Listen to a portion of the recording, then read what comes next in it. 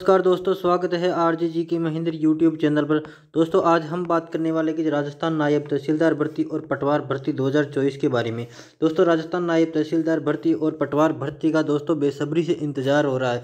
कई दिनों से ये भर्तियाँ सुर्खियों के अंदर बनी हुई ये कि आखिर कब तक आएगी और आचार संहिता लगने वाली है। लोकसभा चुनाव आने वाले हैं तो दोस्तों, कब इनकी विज्ञप्तियाँ जारी होगी तो दोस्तों, कितने पदों पर भर्ती आएगी, क्या इसके अंदर क्वालिफिकेशन रहेगी, क्या आवेदन कब से होगा एग्ज़ाम पैटर्न क्या रहेगा ये क्या विदाउट सीटी होगी या फिर इसके अंदर सी लागू होगी? क्या इसकी पूरी प्रोसेसिंग रहने वाली है?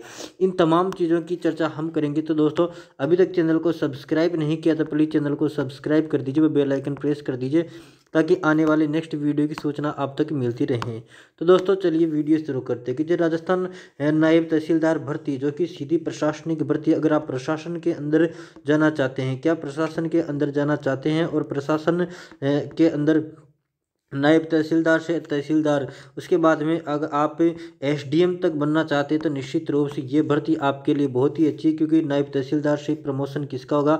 आरटीएस तहसीलदार, राजस्थान तहसीलदार सर्विस का, उसके बाद में एसडीएम तक आप बन सकते हैं। तो दोस्तों पटवार की बात करें, पटवार और दो हज़ार दो भर्ती, यानी तहसीलदार भर्ती और पटवार भर्ती, दोनों सुर्खियों के अंदर बनी और निश्चित रूप से भर्तियाँ आनी है। तो दोस्तों, इनकी विज्ञप्तियाँ कब जारी होगी? तो दोस्तों, मार्च के अंदर आचार संहिता आपको पता होगा कि अभी मार्च चल रहा और पंद्रह मार्च के आसपास आचार संहिता लग जाएगी। क्या पंद्रह मार्च के आसपास आचार संहिता लग जाएगी? तो दोस्तों अब कितने पदों पर भर्ती आएगी? राजस्थान जो नायब तहसीलदार की पदों की बात करें तो ये लगभग 250 पदों से के आसपास यहाँ पर भर्ती आएगी। कितने?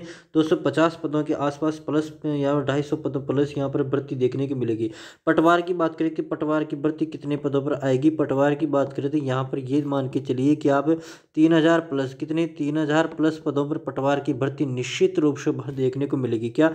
निश्चित रूप से देखने को मिलेगी। और इनके अंदर क्वालिफिकेशन क्या रहेगी? क्वालिफिकेशन रहेगी ग्रेजुएशन रहेगी। क्या रहेगी? ग्रेजुएशन यहाँ पर इनके अंदर रहेगी। अब बात करें कि क्या इनके अंदर सीट रहेगी तो दोस्तों सीट इनके अंदर नहीं रहेगी। दोस्तों बिना विदाउट सीट की भर्तियाँ होगी। क्या राजस्थान नायब तहसीलदार और पटवार भर्ती दोस्तों सीधी भर्ती होगी और विदाउट इसके अंदर विदाउट सी भर्ती होगी। सीटी इसके अंदर नहीं होगी दोस्तों। और दोस्तों, जो कि राजस्थान नायब तहसीलदार, इसके अंदर दोस्तों क्या दो पेपर होंगे? क्या इंटरव्यू होगा? दोस्तों इंटरव्यू इसके अंदर साक्षात्कार नहीं होगा। क्या साक्षात्कार इसके अंदर नहीं होता? नहीं होगा। वो एक पेपर इसके सीधी भर्ती होगी। क्या ये सीधी भर्ती होगी?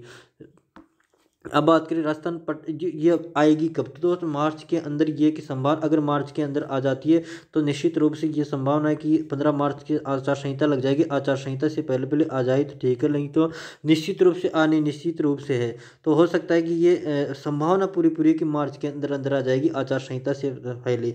अगर नहीं आ पाती है तो लोकसभा चुनाव के बाद में थोड़ा इनके अंदर वक्त लग सकता है, लेकिन जो दोनों भर्तियाँ के अंदर घोषित और आएगी ज़रूर दोनों, राजस्थान नायब तहसीलदार की भर्ती भी आएगी। पटवार की भर्ती भी आएगी। अगर आप प्रशासन जानना चाहते हैं, प्रशासन एस डी एम तहसीलदार बनना चाहते हैं तो आपके लिए बहुत ही अच्छी भर्ती, नायब तहसीलदार की भर्ती और पटवार की भर्ती, जो कि तीन हज़ार पद, प्लस पदों पर यहाँ पर आपको देखने को मिलेगी।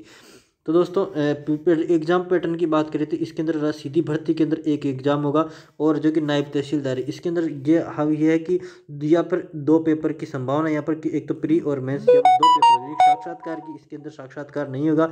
या तो इसके अंदर हो, होगा कि एक पेपर तो यहाँ पर प्री और मेंस यहाँ पर लिया जाएगा और पटवार के अंदर सिर्फ़ और सिर्फ़ एक एग्ज़ाम होगा।